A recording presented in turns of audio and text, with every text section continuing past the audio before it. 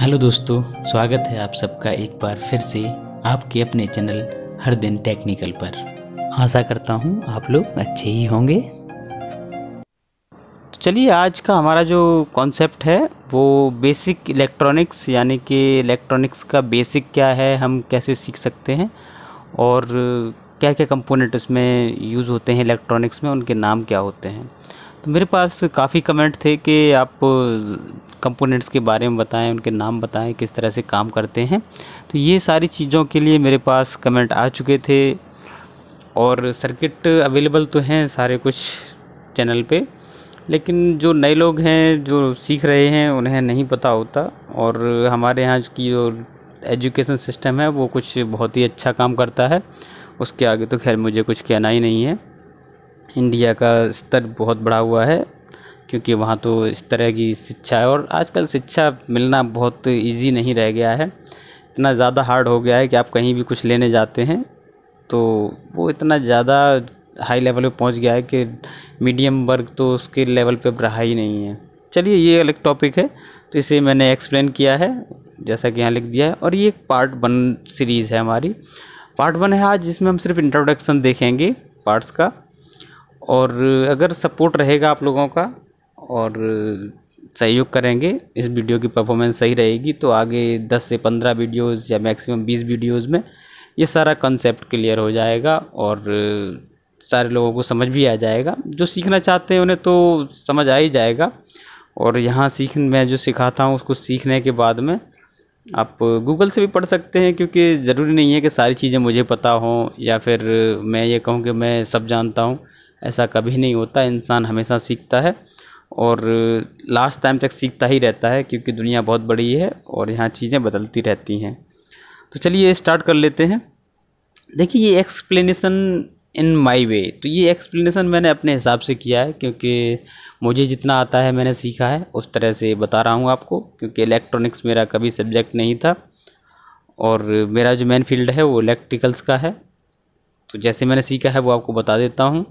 बाकी यहाँ hundred percent तो किसी को नहीं पता होता और ना ही कोई कह सकता है कि मैं हंड्रेड परसेंट सीख गया हूँ।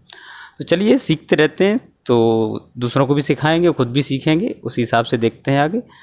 तो यहाँ देखिए, कोई भी सर्किट होता है या कोई भी आपके पास उपकरण है तो वो चलता है तो एक सप्लाई से। अब सप्लाई या तो एसी होगी या फिर डीसी होगी? अब एसी और डीसी में क्या अंतर है वो हम देखेंगे। डीसी को हम हालाँकि एसी से ही कन्वर्ट करते हैं और कई सोर्स होते हैं जहाँ से हमें डायरेक्ट डीसी मिलती है। जैसे कि आपका सोलर पैनल वहाँ से हमें डायरेक्ट डीसी ही मिलती है और एसी हमारा जो होता है वो अल्टरनेटर से हमें मिलती है।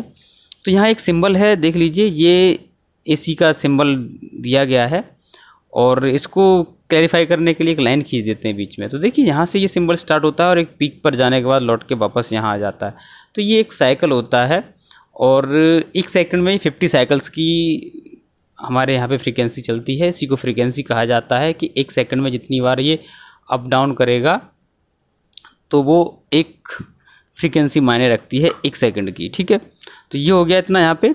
आगे किसी टॉपिक में हम इसे पूरा कवर करेंगे, आज नहीं करेंगे क्योंकि बहुत लंबा वीडियो हो जाएगा और इसमें सिर्फ़ इंट्रोडक्शन ही है आज।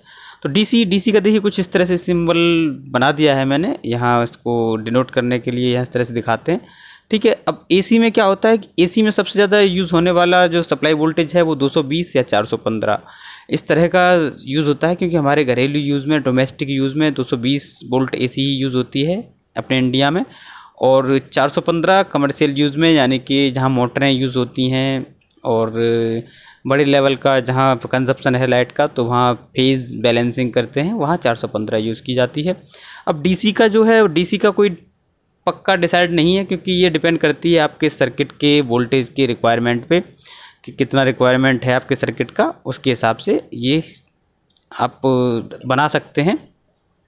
तो ये हम इतना यहाँ बता दिया, बाकी अगर ज़्यादा बताएँगे तो बहुत लंबा वीडियो हो जाएगा तो आगे देख लेते हैं।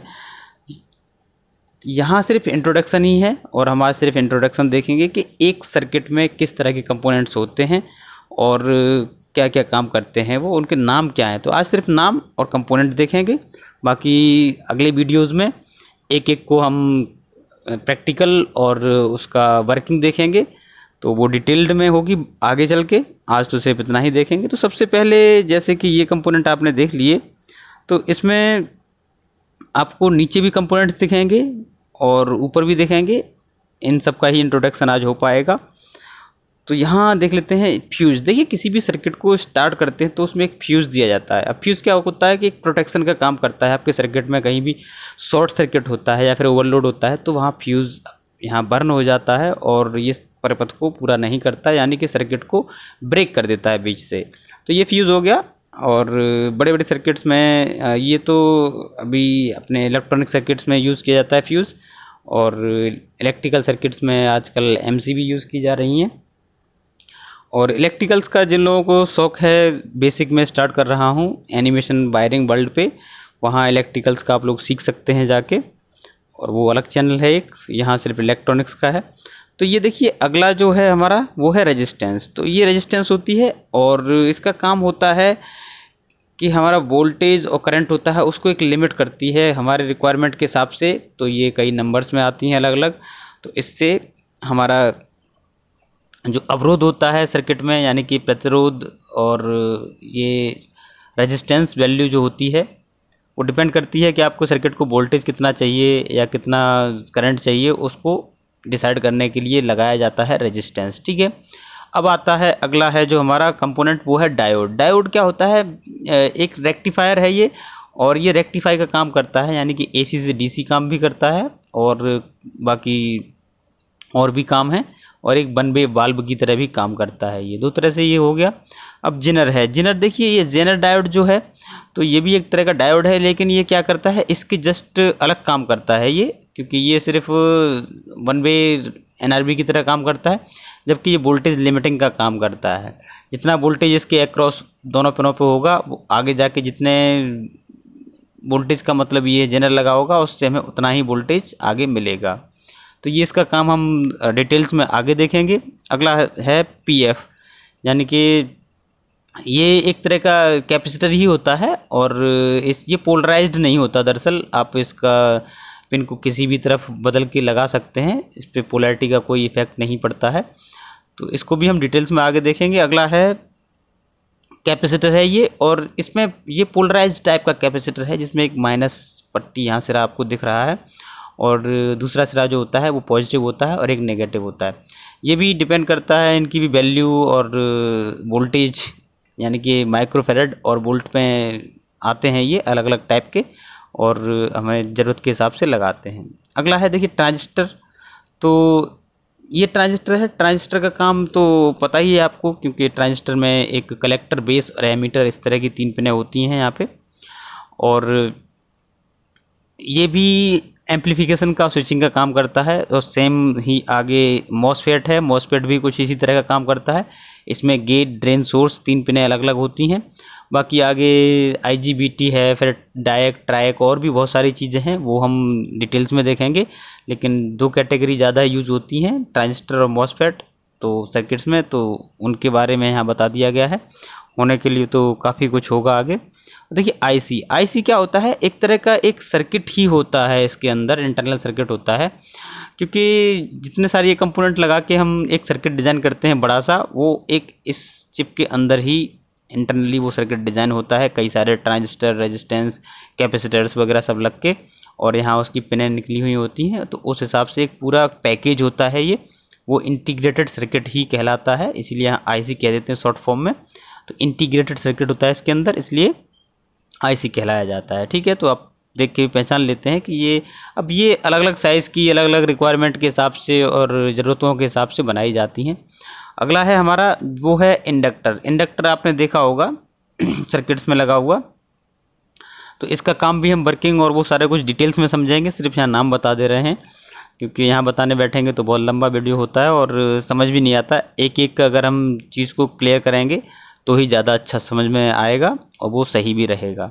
लास्ट में बचता है, देखिए ट्रांसफार्मर ये ट्रांसफार्मर टोरडल टाइप का है और एक ई आई कोर में आता है और फेराइट कोर के भी रहते हैं और कई तरह के ट्रांसफार्मर यूज़ किए जाते हैं। तो उनके बारे में हम देखेंगे बाद में, क्योंकि ट्रांसफार्मर दो ही तरह की जो हमारी सर्किट होते हैं, उनमें यूज़ होता है। इलेक्ट्रॉनिक सर्किट में भी यूज़ होता है ट्रांसफार्मर और इलेक्ट्रिकल सर्किट्स में भी यूज़ होता है। तो दोनों तरह से यूज़ किया जाता है, इसलिए ट्रांसफार्मर सबसे लास्ट में रखा था हमने।